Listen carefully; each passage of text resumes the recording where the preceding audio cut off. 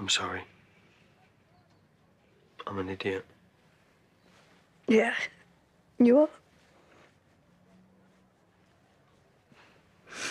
You got to get baptised. And Jay and Callum. Because we've all got to be together again.